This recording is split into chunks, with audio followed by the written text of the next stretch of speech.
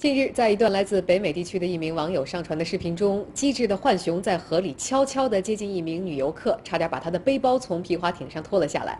一开始呢，看到这只可爱的家伙，女游客还是把它当做友好的小伙伴。但是当浣熊开始拖她的包时，她吓坏了。幸好最后呢是把包抢了回来，浣熊则是溜回了岸上。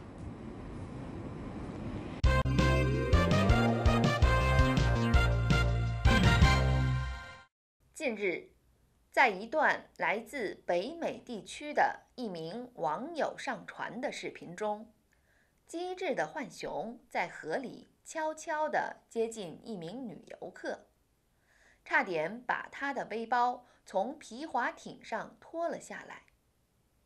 一开始看到这只可爱的家伙，女游客还是把它当作友好的小伙伴。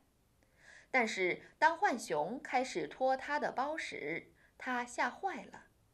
幸好最后把包抢了过来，浣熊则是溜回了岸上。